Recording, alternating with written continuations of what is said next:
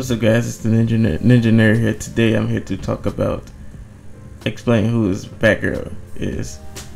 Now, they've announced that Joss Whedon, the director of the Avengers, is doing a Batgirl movie, and he's also finishing up directing Justice League.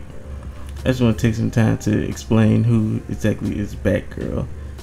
The Batgirl is her, her real name is Barbara Gordon. She is the daughter of Commissioner Gordon, and then and then her mother left her family when her daughter was a teenager. Then a few years, Batman came along, and this that's that inspired her to become Batgirl. Then she began working with Batman and Robin.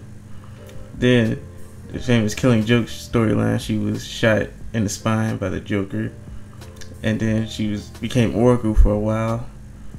And then she, after in the New Fifty Two, she after, after three years she returned to being Batgirl and that's basically a quick synopsis of who Batgirl is. But yeah, let me know what you guys think. Are you guys excited for the Batgirl movie? Did this help you explain who Batgirl is? Let me know in the comment section below. Like, comment, subscribe, and peace. Deuces. Spider-Man.